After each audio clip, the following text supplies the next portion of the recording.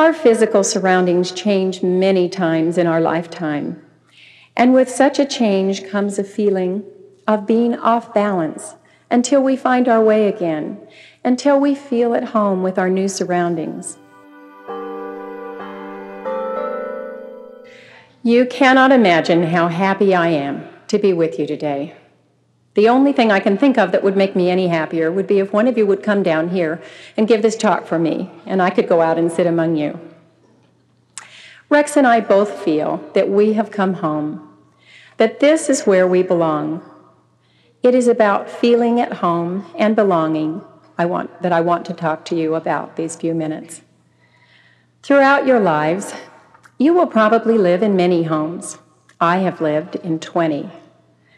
However, I will tell you about only three of them, the places I lived during my four years at BYU. My memory of that space and time was awakened by an experience I had Friday morning as I jogged with Rex across parts of this campus. It was a beautiful, crisp morning with the sun just peeking over the mountains. I was full of energy and was determined to make it to three destinations my BYU student homes. Heritage Halls, Knight Mangum Hall, and an apartment on 800 East, just a block, a block or so from Alexander's print shop, which was, in my time, a popular snack shop called Roley's.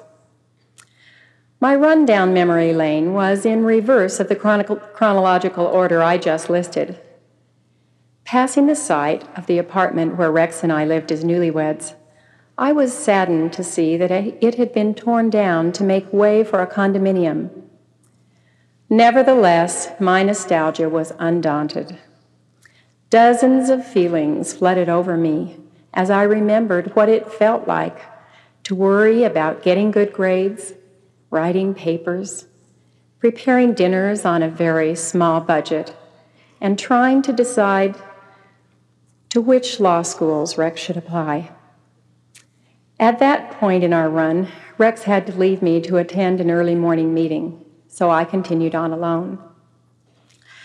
A short distance from where our apartment had been, I came to the old Knight Mangum Hall, known to you as the Math Lab, which was my home for two years. It seemed only a short time ago that Rex picked me up there for our very first date.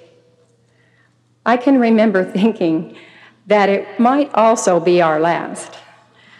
But that's another story for a different talk. now I was running slightly uphill, and as I approached Heritage Halls, I watched students rushing almost frantically to get to their 8 o'clock classes on time. For some reason, watching you at this moment unlocked the floodgates for me. All of my emotions came pouring out. I could remember just how it felt to be a student during those first few weeks of school. I could remember feelings of appreciation, apprehension, inadequacy, frustration, homesickness, mixed with feelings of excitement, anticipation, eagerness, and joy. You see, I was a freshman when I lived at Heritage Halls.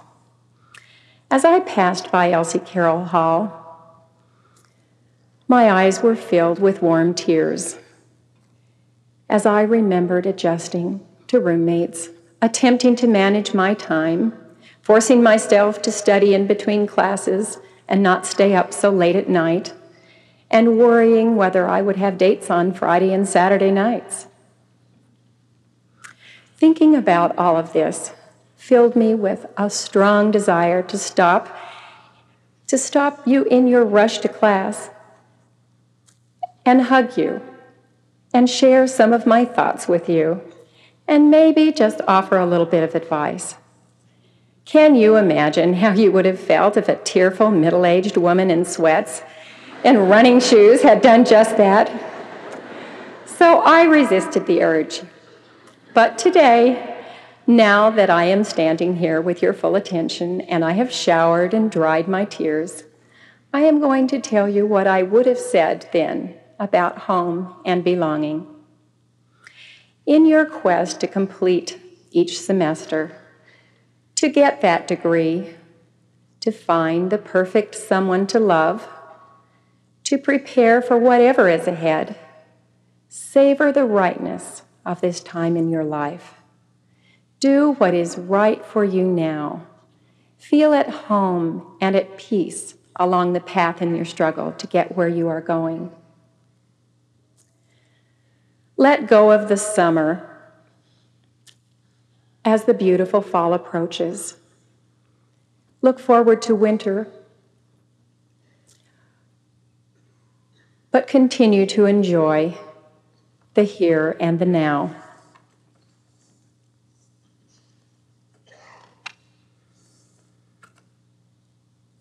At times in my life, I have spent too much time longing for things that I did not have. I wonder what it was like. I wonder why I was homesick as a freshman. Was it my house or my backyard patio? Was it my comfortable bed or my very own closet? Was it my friends that I was lonesome for or my family? I was probably missing all of these things.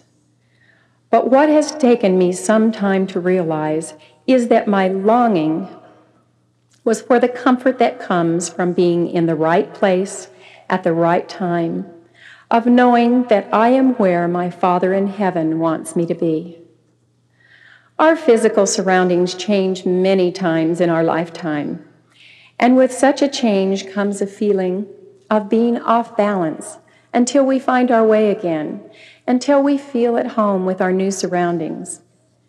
If we are listening to the Spirit, we will surround ourselves with truth and goodness in each of our earthly homes, making the pathway to our ultimate heavenly home more direct and attainable.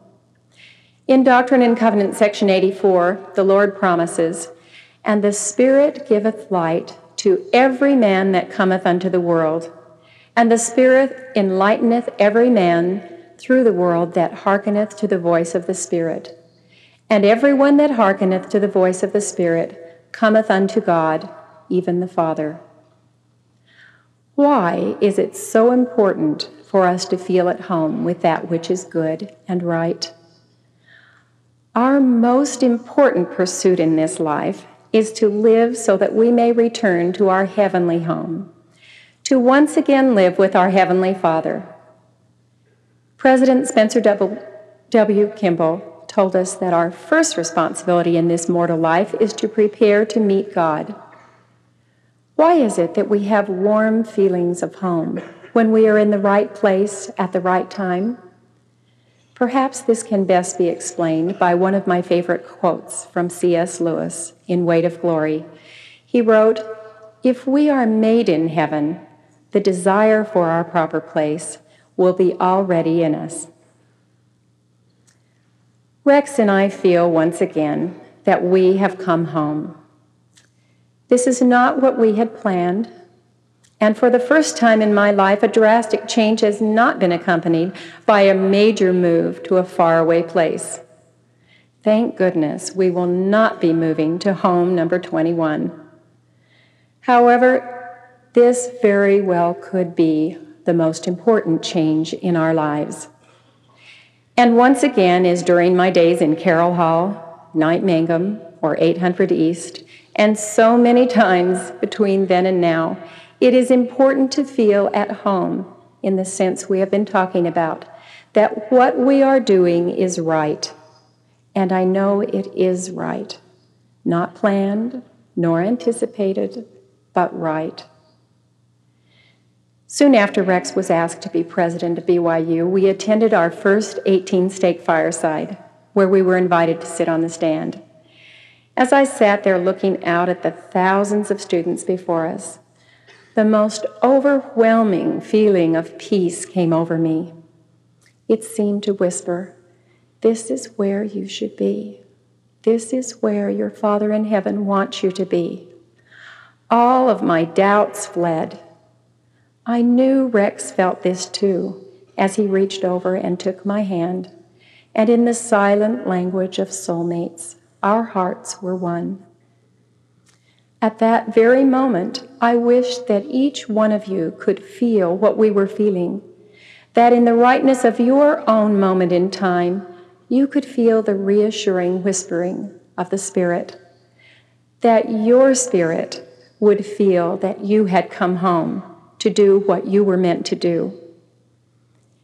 It is my prayer that we will all strive to be in the right place at the right time, that we will live in harmony with the Spirit, which will take us step by step back to our ultimate home with our Heavenly Father. In the name of Jesus Christ, amen.